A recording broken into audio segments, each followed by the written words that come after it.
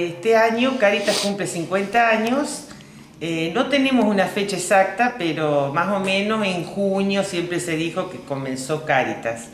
Eh, bueno, nosotros eh, estamos tratando de organizar para junio una charla, otra para julio y después culminar con un almuerzo en, agosto.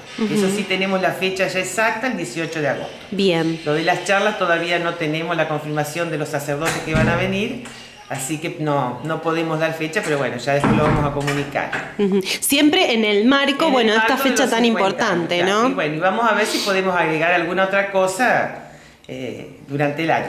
Por ahora es lo que tenemos programado. Este almuerzo que ya lo tienen organizado, bueno, ¿en qué va a consistir? ¿Dónde se va a realizar? Bueno, el almuerzo va a ser en la sociedad rural el domingo 18 de agosto y bueno, está toda la comunidad invitada, porque como decimos siempre, Caritas eh, funciona gracias al aporte de toda la comunidad, que todos saben, ¿no es cierto? Tanto en, ropa, en calzado, en leche, en mercadería, dinero, eh, siempre agradeciendo la solidaridad de, la gente sancarlina porque eh, sin ello no, podríamos seguir.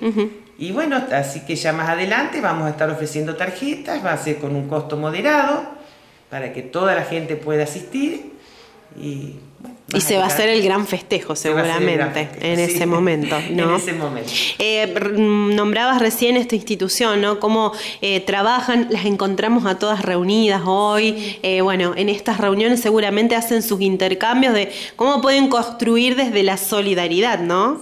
Sí, es así. es así. Bien, son muchas colaboradoras. Sí, Bien. somos muchos.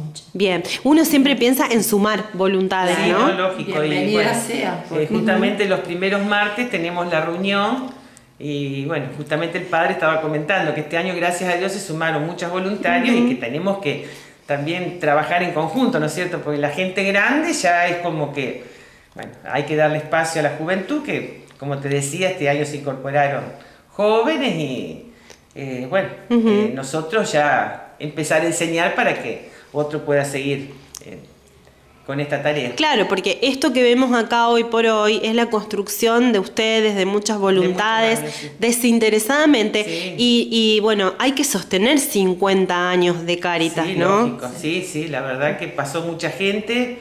Eh, muchos ya no están, por supuesto, pero bueno, eh, siempre decimos, por respeto a los que empezaron, uno tiene ese entusiasmo de seguir y bueno, de incorporar gente nueva para que pueda esto continuar. Exacto. ¿De qué se encargan ustedes específicamente? Porque acá vemos todo ordenado, pero esto lleva todo un proceso anterior. Claro, acá por ejemplo, en este espacio, todos los martes tenemos la entrega de ropa, calzado, y el cuarto martes es donde se entrega la bolsa de leche y algunos bolsones de mercadería a familias específicas.